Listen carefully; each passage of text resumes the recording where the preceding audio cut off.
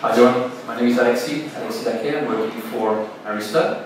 And uh, afternoon I'm going to present you the, uh, some of the uh, high bandwidth uh, consuming applications and how to handle them in a um, new modern design center and the considerations for that.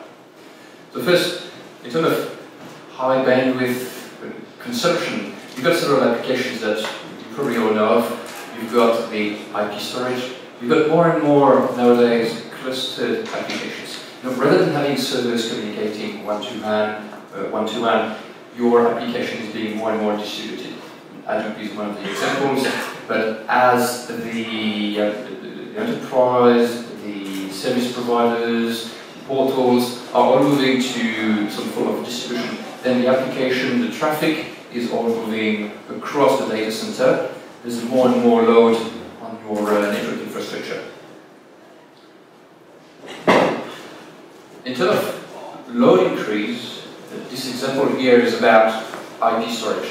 This is using servers, 40 gig NICs, network adapters, used for storage. So you see 6 petabytes of data across storages with a uh, 40 gig NIC each. And that, that, that, storage based on kind of standard servers. This is not a storage array, this is servers with 40 gig NICs using GPFS, distributed storage. So that customer, for example, has been driving over 90% utilization. You can see 39.5 gigabits per second of traffic per NIC. That's a cumulative bandwidth of, of 316 gigabits per second. So nowadays, the servers don't have in themselves bottleneck anymore to drive bandwidth. The NICs, the PCI bus, the CPU, all that is driving the performance very high. And the bottleneck today in the data center is more likely to be the network. As an example, when all that high bandwidth application is crossing the network, what we want to talk about is about that buffer here. In this example, you've got different flows coming from different interfaces. As seen in the previous example, you've got different storages, sending traffic to some clients, or clients storing data, accessing the storage. Then what will happen is that when the traffic is relatively smooth, everything gets um, absorbed by the buffer. You always use buffer. The uh, traffic that's relatively smooth has some little burst. Traffic is coming by, by gentle burst. And most of the buffers can, can with that. In this example, we're using 80% utilization link. This is a graph representing we are sending traffic at 80% line rate on a 10 gig interface, for example. Buffer is fine. Traffic is coming by, by gentle burst. However, what you have to consider is congestion in your network. And that's going to have a huge impact the way you understand your, uh, you need to understand your application because that has got a, a high impact.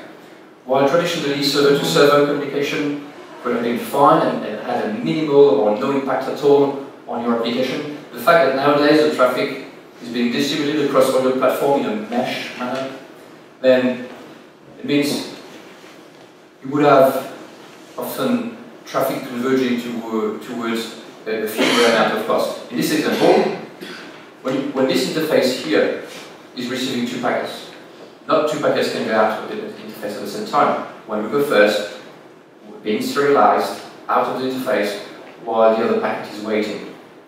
And that, that gets even worse as the, um, as the amount of flows going in, as in an incast or fan in, or as the bandwidth here is much greater than the ingress interface. So this is just an illustration of congestion. This is happening when, here typical example, a client, compute server, is requesting some data from some distributed server for uh, distributed storage. It sends a request at 1 gig or 10 gig, and all the servers here, storage servers for distributed, what could be different arrays, are going to all reply to that request for the file with, whether they are 10 gig or 40 gig, all at once sending that to the client. That means here we are receiving a huge amount of bandwidth, whether it's coming from a single server with a higher amount of bandwidth than this one, or all 10 gig, you've got potentially 40 gig of traffic coming by burst, and it needs to be serialized out of that 10 gig interface. So the more distributed the application is, the more likely you are to suffer from um, buffer congestion. One of the problems in buffer congestion is once you exceed your buffer size, you are suffering drops. Drops mean packet being lost, and that has got an impact on the traffic, on the end-to-end -end, uh, application, including TCP. This is an example of a good put performance in a network with a relatively shallow buffer and the amount of session increasing the amount of nodes in the network. What is good put? It doesn't mean the throughput is low, because you might still be sending you know, 600 uh, megs on 1 gig or 6, 6 gig of traffic on 10 gig. This is just the fact that you've got more and more retransmissions. Good put is different from throughput. The good put is the amount of useful data used by the application, not lost in retransmit. Example here, we've got a send buffer, we still send 80% utilization on the link. So we still send 8 gig of traffic towards that port. Send port, send buffer. But the traffic profile has changed a little bit. This is a more, to present a more stressful application with more, um, with, with more burst. You can see that the shape of the traffic we are sending is still at 80% utilization, but by burst, in more, uh, it's more bursting in shorter period of time. While previously, the spread of the bandwidth was more regular. What previous one was re representing a relatively gentle traffic, here it represents a very bursty traffic. And what happens is that because of that burst is concentrated in a period of time, however, the egress interface keeps serializing at the same speed. You can't keep up, and some of the some of the packets are being dropped on the buffer. Because of those drops are in TCP, you all know about the uh, TCP, uh, the backoff once it drops, and takes time to, to restore to, to the previous state, to increase again. And the point is that how much time do you think it takes for the TCP to realize that the packets are dropped? Some applications have got ways to, to, to keep track of the TCP sessions, some others don't. Hadoop, for example. The packet can be lost, it's got no idea it waits for the TCP um, session to time out. It takes seconds, or even more. Another part is that when you start suffering drops, the TCP windows, the TCP sizes um, start to synchronize, meaning your whole data center will have synchronized TCP window, and then flows started later, because when you start to have drops, it all falls in a synchronized manner. The drops happen at the same time, and that's got an impact. Latency at a large scale has got a severe impact on your customer perception in your network. Another part, the problem in the, the drops is that they are usually very unfair. Here, what you see on the uh, light blue is the spread of the amount of traffic received by different TCP flows. Some TCP flows receive an average of throughput. Some get a very good throughput. And you've got some part that receive a very poor amount of throughput. Some TCP flows don't receive anything. You've got flows that are working perfectly fine in your network, and some other TCP flows that you don't understand what's happening because they don't receive any flow. The TCP flow doesn't work. It's a bit random and it's unfair. We've preserved, um, with, with, with, no drop at all, all those flows will be uh, providing some amount of, of, uh, of, throughput. And this is the purpose of the buffering. The buffering is there to accommodate big burst in the network. This example, you've got uh, the same bursty, uh, very stressful traffic for your uh, for the network with large buffers. The egress interface still receives, again, except for the, all three cases, it's always 80% utilization. The first one was gentle traffic. The egress interface was able to keep up with the, uh, the serialization and the buffering as the, the, traffic was spreading gently. Here, it's coming by big burst. The previous case, the buffer was shallow, it couldn't keep up with a large amount of traffic coming by bus. In this case, the buffer is large enough and it can cope with the, um, with the, bus, with the bustiness of the traffic. So one question can be raised is, the buffer is important, how much, how much do I need in the network? And the, point was, is your traffic bursting? Or is it very gentle? Some applications such as Hadoop, virtualization, you know those traffic that cross your network all over the place and it's difficult to, um, to, to, predict the traffic pattern. But as the cloud comes and as, as your, your traffic is being more and more distributed, then you have to, um, to think about more and more about the traffic pattern in your application. Fan in, cast has got impact on the buffer. In this example, we talk about the impact of oversubscription on the, um, on, the congestion. We've got an example with four uplinks. This is a kind uh, test, provides an subscription of 4 to 1. And a second case with only three uplinks. So 5.3 to 1 is worse than 4, 4 to 1, obviously. And that goes more packet loss in the shallow buffer as you create more congestion onto that uplink.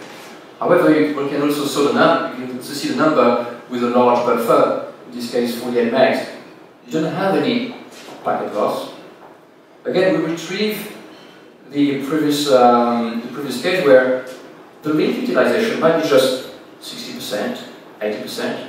You don't reach 100%, but because the traffic comes by burst, the oversubscription ratio creates even a, a bigger burst towards like a, a funnel. But the amount of buffer has an impact on its capacity to absorb those bursts. The bigger the oversubscription ratio, the more likely the stress will be on the buffer. If your traffic is not bursty at all, you're the, you're the one now about your, uh, your, your, traffic profile, or you need to, to find out, you're unlikely to need big buffers.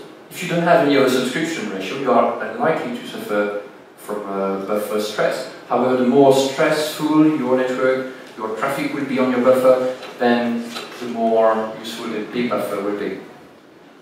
And this is a, a, use case with uh, the device here, the Arista 7500 is a device with 125 megabytes of buffer per taking port. Most of the sorry, I tried to get to here. Most of the network devices in industry have got about 9 megabytes of buffer per network processor. That's for the whole 64 port. That's for the whole 8 queues. That's just one few hundred kilobytes per port. This is where the red line is. That's for those network devices, most of what is present in industry. And the graph represents what a customer with the 7500, for example, has actually read of the buffer utilization. Each time it exceeds one of the, reaches one of the uh, values, it was recording it. So you see that about, it is the percentile, so roughly 75% of the devices have suffered a burst on their packet buffer over the, um, the, the, uh, the names here represented for this device. And none of the other products in the industry do provide um, more, more buffer, none of them to that scale. So this means everything that in blue here could have been dropped, could have represented like a drop. So this is actual data, this is what is being actually used. Those are you know, some verticals that are you know, using a lot of um, high performance application with its HPC, um, some IP clusters, virtualization. The same application within one of your network being used in your network, and this exactly same application could be used in another network and might have different traffic profile. So this is really an overall idea, but it varies from one, one network to the other. From your application in someone else's network might behave differently. The idea is how nice would it be to have a visibility on the network? Because again, the the stress on your buffers doesn't, is not present everywhere. You remember the fan in I was talking about? That's about, for example, distributed storage. So all the traffic maybe storing data to, to your storage if it's in a single rack. That device receiving all the traffic might suffer much more congestion than those that don't receive much. This is the fan in effect. Those devices are, at the buffers, more stressed than others. So having visibility is important. The, ma the, manner you gain visibility from your buffer is also important. There's the polling base and there's the trigger base. Polling, you know, you can use SNMP every minute. How likely are you to catch a burst of a few packets that can last just microseconds? This is microburst. You can drop packets, you can fill your buffer in just a few microseconds.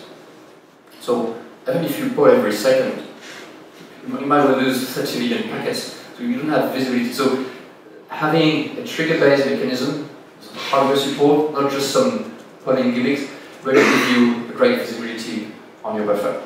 So all those bandwidth-hungry applications, the, buffer has got an impact, understanding the traffic profile and how your traffic behaves with the, uh, with the buffering. But there is a, a big driver, 400 gig. Not everywhere, but think about those 10 gig links. You know, now the servers are coming to 40 gig, and what do you get for the upgrade? Well, there's 100 gig coming. And the most important point is, just like you could think of the 10 gig adoption, the 10 gig adoption really started when it became affordable, as affordable as 10 links of 1 gig. Rather than having servers with 8 NICs or, uh, or, or, or 10 NICs, then today the 100 gig is becoming as affordable, or is, for example with the 7500, um, affordable for the data center, where a 100 gig port become um, as affordable as 10 times 10 gig. The use cases are obviously when you've got a high bandwidth of 10 gig, or when you've got 40 gig to, the top of rack switch, and you need some uplinks. Could be 100 gig. Yeah, you can use multiple 40 gig, but then you've got know, hashing consideration, and there are so many 40 gig ports you could have. 100 gig can also be used between different silos of data centers, storage, compute, or across hubs, across different locations. Where you've got your 100 links, you might want to, to increase that in an affordable manner. This device, for example, um, it's got 96 um, 10 port. It offers short range, it offers long range. This device here is just some um, some 100 gig, but this is the uh, what brings the affordability to the 100 gig today by including the transceiver on board the device itself. Rather than having your pluggables that are expensive, could, I don't know if some of you some of you have 100 gig on your uh, on, on your backbone, but think about how much it costs to have your 100 gig port. Those here are the price of roughly 10 ports of 10 gig, each of the 100. 100 port doesn't cost the price of a house here.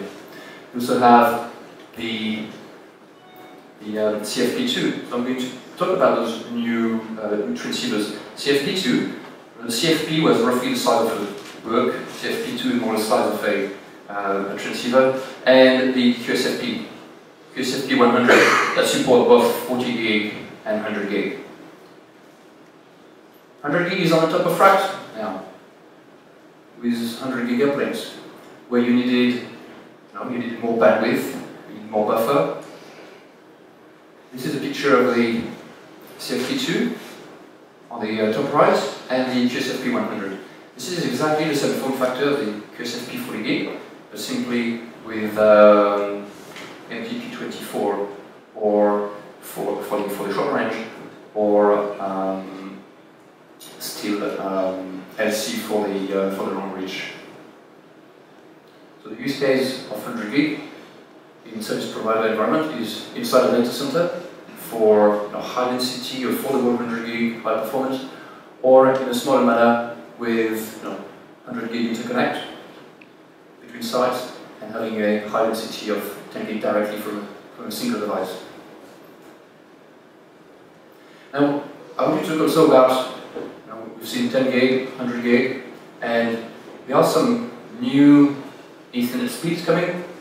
So the 25 gig and 150 gig Ethernet consortium was uh, founded by uh, Arista, Broadcom, Google, Mellanox, and, uh, Microsoft to bring new affordable high speed. It's all about cost per bandwidth. 25 gig is aiming at providing better bandwidth, cheaper than what the 10 gig can today. And the 50 gig is destined at, um, at providing something better than the 40 gig. Let me explain. 1 gig you know, is using one lane. Whether it's uh, you know, optical, is using one pair of fiber, 10 gig as well. However, the 40 gig is using four lanes of 10 gig. You know, in the PCB, you've got four channels of 10 gig. That's why you've got MTP uh, or you know four lambdas in the, uh, long reach of 40 gig, and 100 gig using four lanes of 25 gig. Now, with 25 gig and 50 gig, with the new technology allowing now more affordable um, technology, 25 gig makes it very efficient to have more bandwidth. So now, one with a single lane, you reach 25 gig, so 2.5 times more than, than 10 gig. However, the price cost is not two and a half, just slightly above the 10 gig. That makes it the best price performance ratio compared to 10 gig. 50 gig with two lanes is also much less complex. Each ZS, ZS is standing for uh, serialization, uh, the serialization is encoding in the, um, in, the chip the board is also less complex.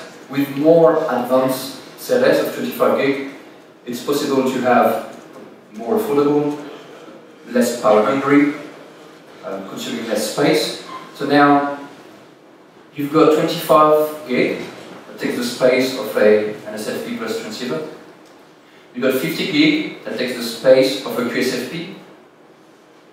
You get more bandwidth per space. You've got high density products that provide you speeds at say a lower price point per um, more bandwidth for the for the money. This is the level of 25 gig. This is providing roughly a um, improvement of two and a half on the bandwidth, but it's just 1.5x on the cost. So when network is your business, really, those bandwidth um, make sense. And those are being driven by very large customers that are, that are driving the whole, the whole industry. and those technologies are not just you know, vaporware or what. Broadcom has just released the, uh, the chip last week, supporting 25 gig and 50 gig, up to 32 ports, 100 gig, 64 ports of 40 gig, 50 gig. So what that brings is very high performance, very high density, at the most affordable price point compared to 10 gig and 40 gig, and that, that's where the market might be going at some point. Thank you.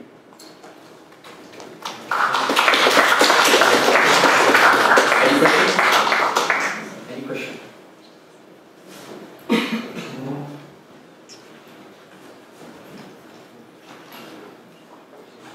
Okay, then uh, thank you for your speech. We have like